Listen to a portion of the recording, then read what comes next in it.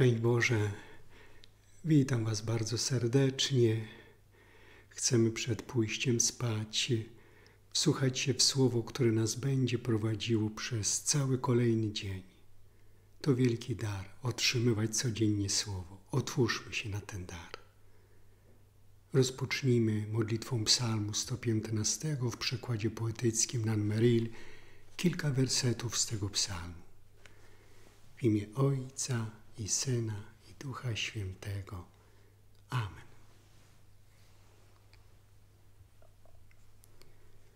Obyś był prowadzony przez Ducha Prawdy, który mieszka w Twoim sercu. Niebiosa głoszą chwałę Stwórcy.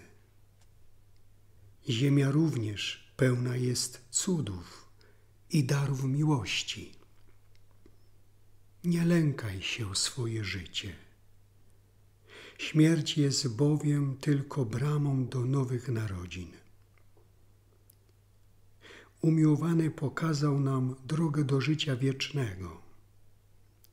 Zaufaj jedynemu świętemu od tej chwili na zawsze.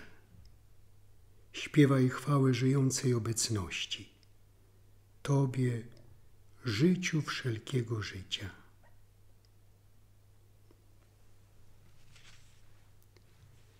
Z Ewangelii według świętego Łukasza.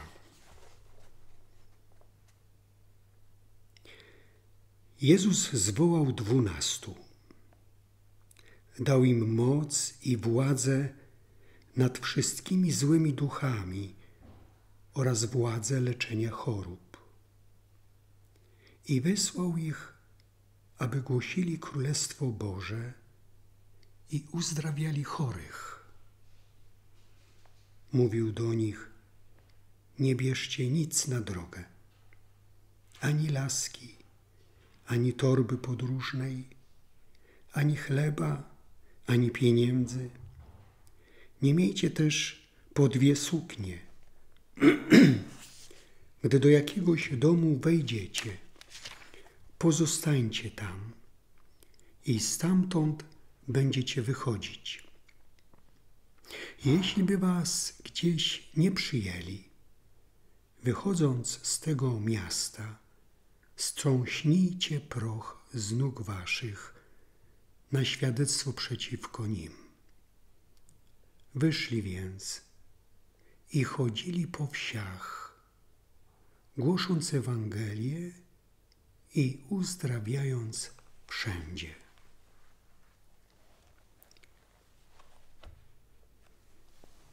Drodzy, zwróćmy najpierw uwagę na fakt, że otwieramy Ewangelię według świętego Łukasza, zwaną między innymi Ewangelią ewangelizatorów.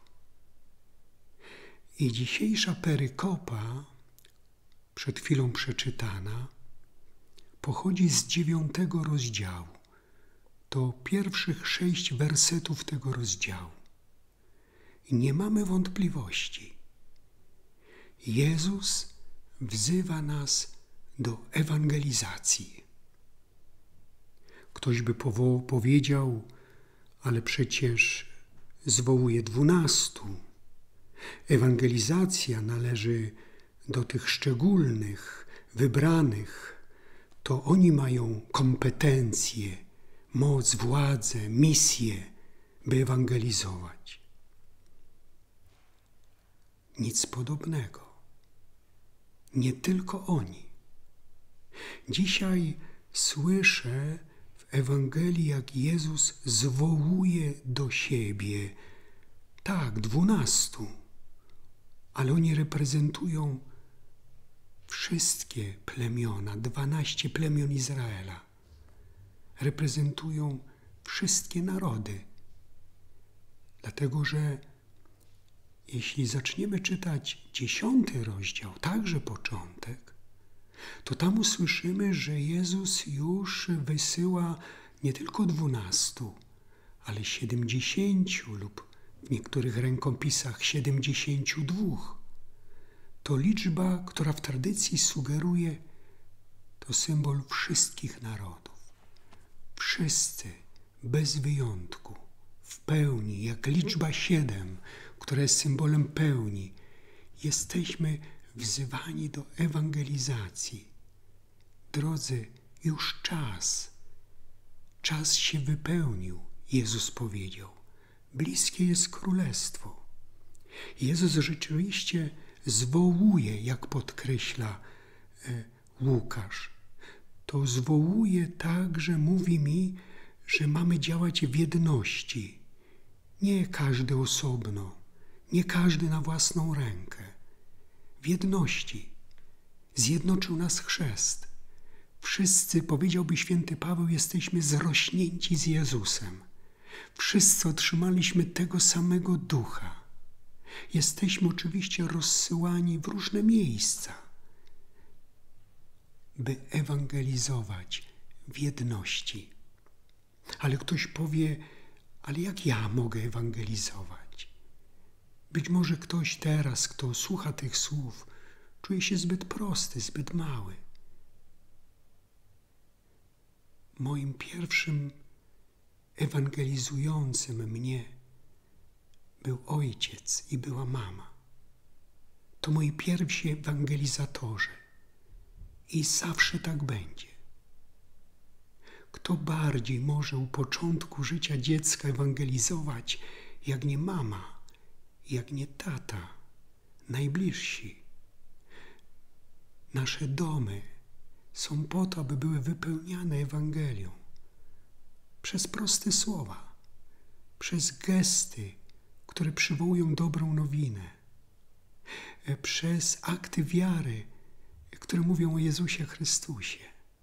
Ewangelizacja jest czymś prostym, a ma w sobie moc. Mamy tę moc. Skąd? Wsłuchajmy się wyraźnie. Kiedy zacząłem czytać dziewiąty rozdział, zapytałem się, a jaki jest kontekst tego rozdziału? I zdumiałem się, uświadomiłem sobie, przecież tyle razy czytałem i ósmy, i dziewiąty rozdział, bezpośrednio przed dziewiątym rozdziałem. Łukasz przywołuje cztery wielkie cuda, których dokonuje Jezus, by powiedzieć, że Jego słowo ma moc. Otóż Jezus mocą słowa to w ósmym rozdziale. Najpierw ucisza szalejącą burzę na jeziorze. A nas pyta o wiarę. Gdzie jest wasza wiara? Czy wierzysz w moc słowa, że moje słowo ma moc?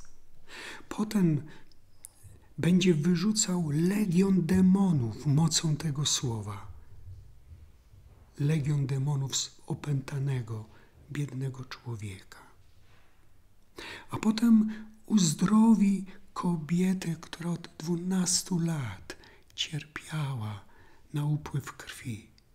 Wydała wszystko na lekarzy. Nikt jej nie mógł pomóc. On mocą swojego słowa uzdrowił ją. A potem ten cud, który można by powiedzieć najbardziej zdumiewa. Jezus wskrzesza córkę Jaira. Była już umarła. A Jezus mówi: Nie, ona śpi. Ja ją podniosę. Wobec Jezusa śmierć jest jak sen. Ale dlaczego te cztery opisy cudów przed naszą lekcją? By powiedzieć, że Słowo Boga ma moc. I każdy z nas otrzymał moc, by głosić Jego Słowo tam, gdzie jest, w swoim powołaniu, w swoim życiu. Drodzy, czas na ewangelizację, czas się wypełnił. Świat czeka na Ewangelię, na dobrą nowinę. Nie czeka na czarne, mroczne newsy. Nie czeka na fake newsy. Nie czeka na informacje, które sieją grozą, odbierają nadzieję czeka na dobrą nowinę, którą przyniósł Jezus. Oczekują wszyscy w duszy swojej, nawet kiedy tego nie są do końca świadomi, ale tak zostaliśmy stworzeni, iż łakniemy dobrej nowiny, łakniemy Bożego Słowa, które nas przecież wszystkich stworzyło. Jeśli będziemy czytali co się dzieje po naszej dzisiejszej lekcji, o którą przed chwilą przeczytałem z Ewangelii Łukasza, to zobaczymy znowu cud. Jezus dokonuje cudu rozmnożenia chleba dla głodnych. I kogo w to angażuje? Uczniów, by rozdzielali ten chleb. A więc wyraźnie jesteśmy zaproszeni, by razem z Jezusem przekazywać światu Ewangelię. Ale jeszcze raz zapytajmy, ale skąd u mnie moc do głoszenia Ewangelii? Czy mam takie kompetencje, taką zdolność, by Ewangelię przekazać? Mam. Bo Jezus, zwoławszy do siebie dwunastu, którzy, jeszcze raz podkreślmy, reprezentują cały Kościół, wszystkich wierzących, dał im moc. Pojawia się słowo dynamis.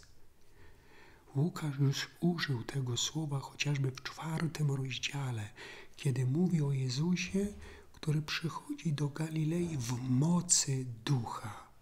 A myśmy tę moc od Niego otrzymali wszyscy. Drodzy, otrzymaliśmy ją w dniu Chrztu Świętego. Mamy w sobie moc ducha, dynamis, ducha świętego. To On nas dynamizuje.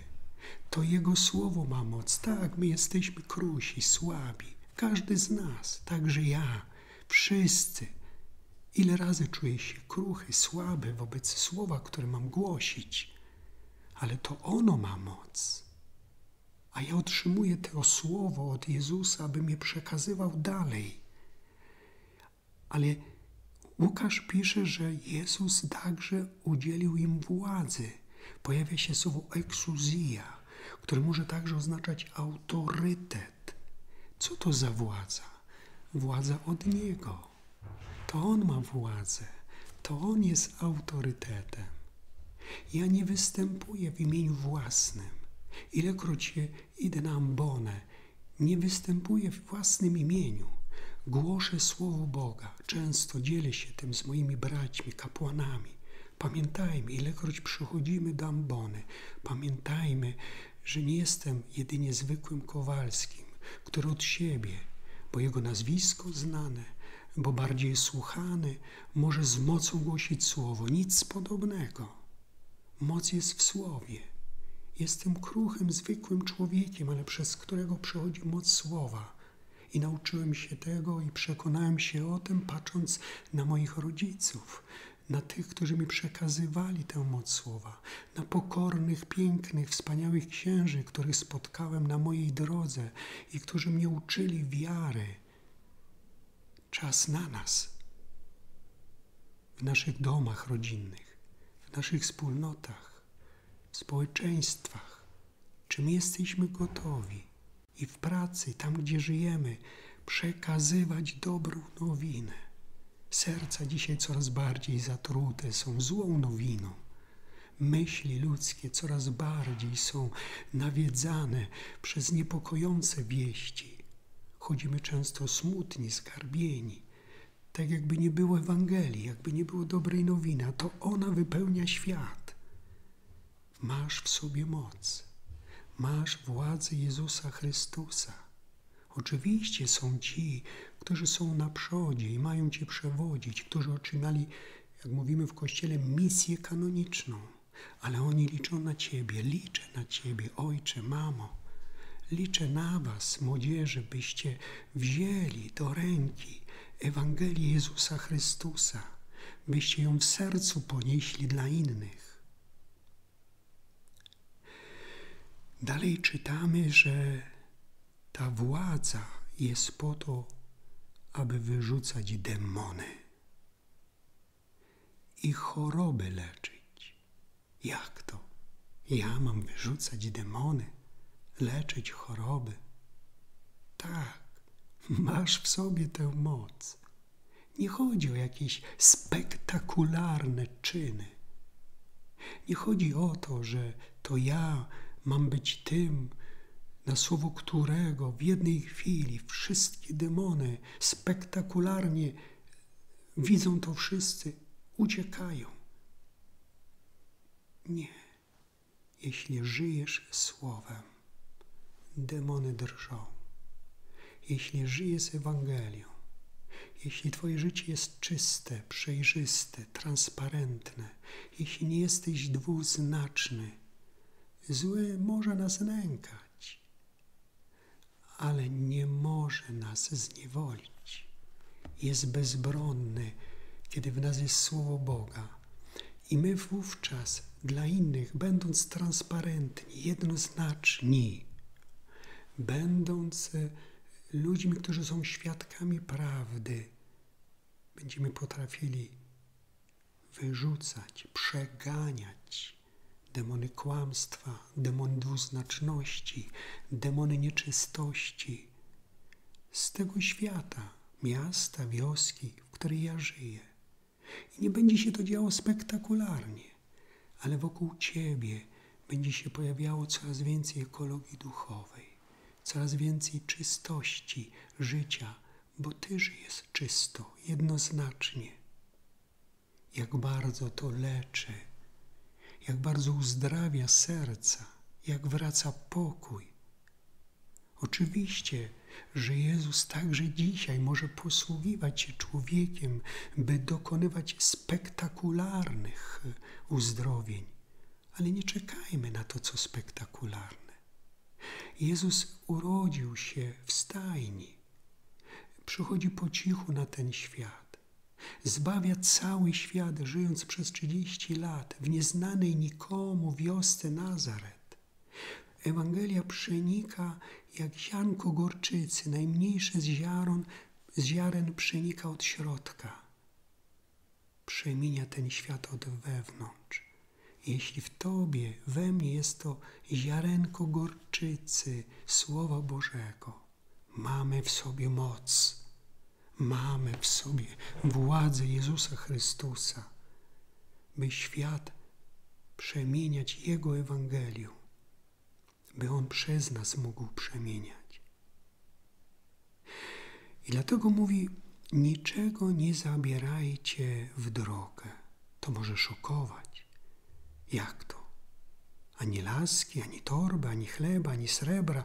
Za każdą z tych wymienionych rzeczy e, kryje się coś ważnego. Laska służyła nie tylko po to, aby e, mieć oparcie w drodze, e, ale by także Palestynie bardzo potrzebna, pomagała bronić się, kiedy był ktoś w niebezpieczeństwie.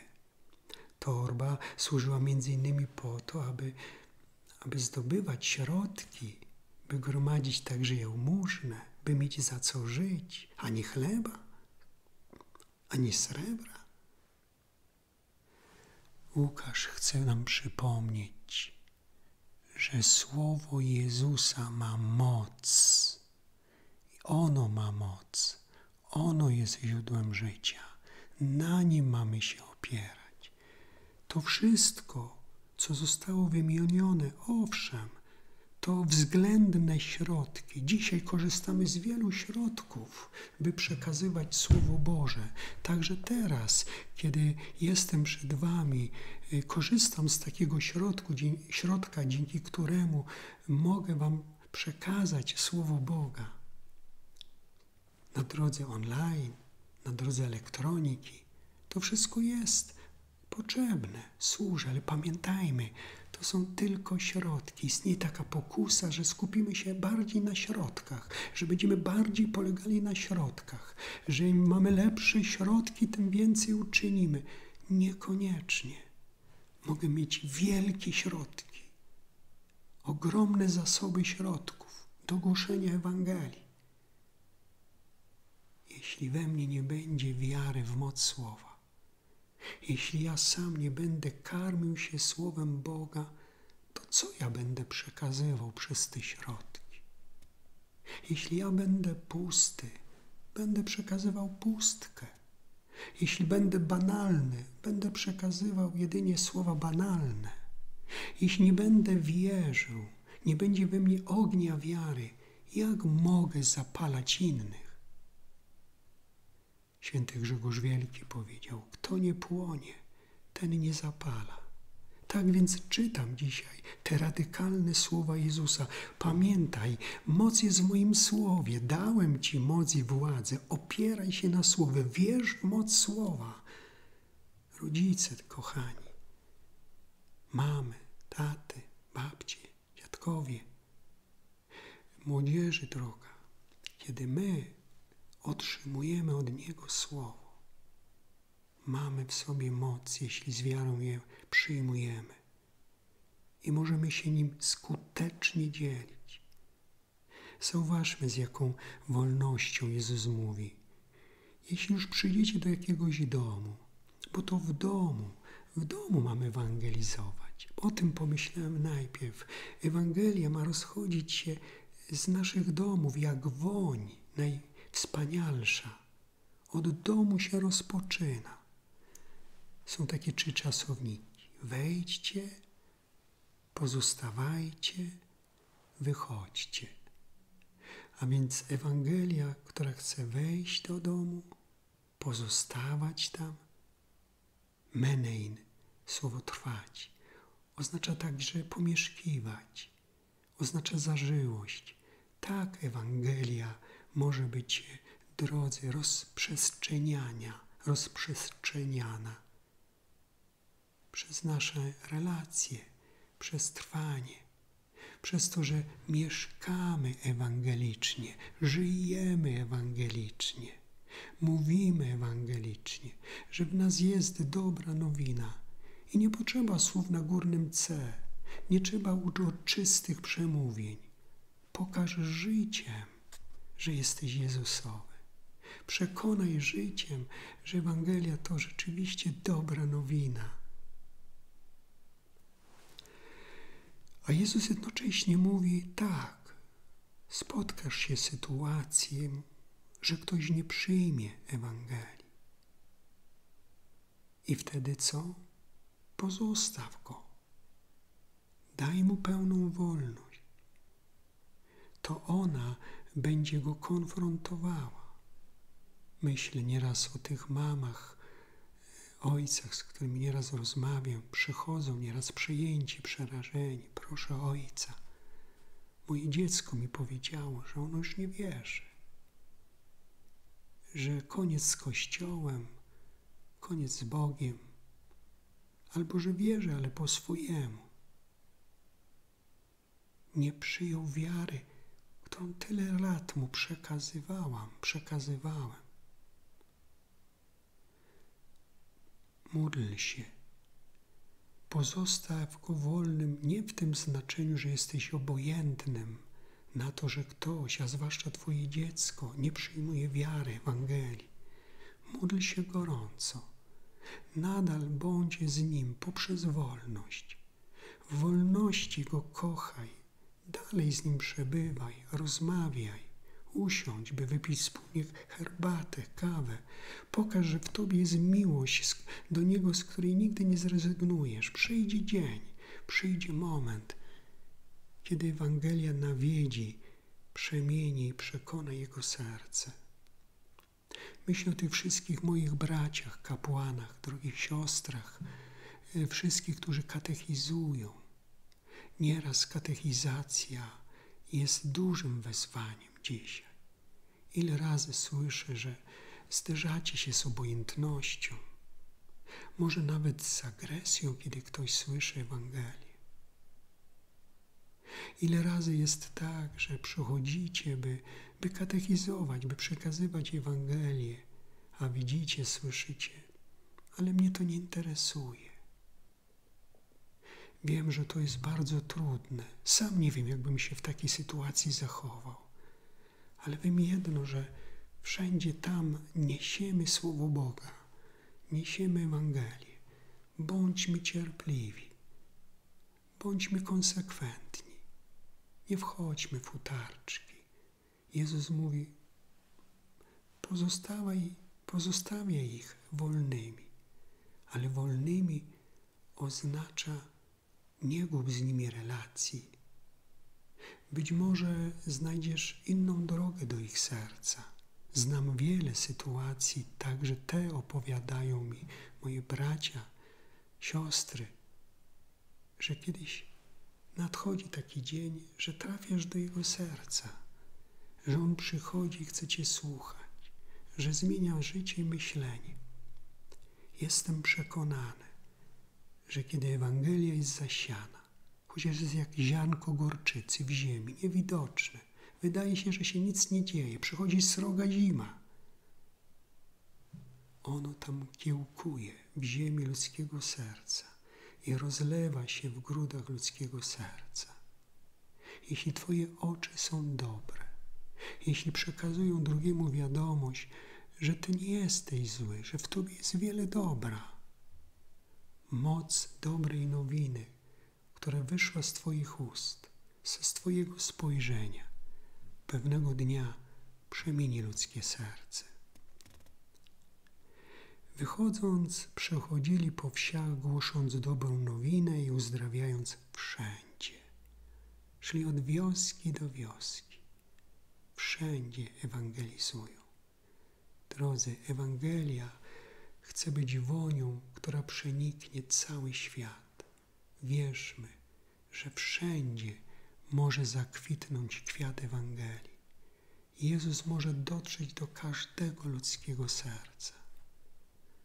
My mamy być świadkami mocy, władzy, jaką posiada w sobie Ewangelia. Ewangelia posiada moc i władzę nad ludzkimi sercami. Tą mocą i tą władzą jest miłość Jezusa Chrystusa. Życzę Wam i sobie, abyśmy nigdy nie odstępowali od misji ewangelizowania najpierw siebie samych, pozwolić ewangelizować własne serce, byśmy potem mogli ewangelizować innych. Zwyczajnie, najpierw przez własne życie, także przez słowa, przez relacje, przez więź. Ewangelizujmy. Czas się wypełnił. Otrzymaliśmy od Niego moc i władzę, by to czynić. Bądźmy pokorni i głęboko wierzący. Jego Ewangelia może przeniknąć cały świat. Z tą dobrą nowiną idźmy na spoczynek.